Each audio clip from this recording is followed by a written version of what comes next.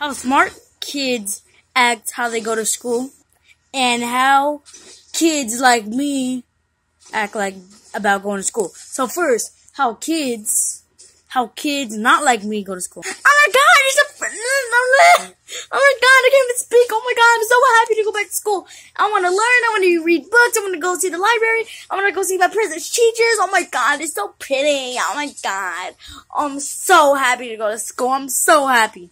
And me. Oh my god, can it just be another week? Oh my god, I don't know why I go to school.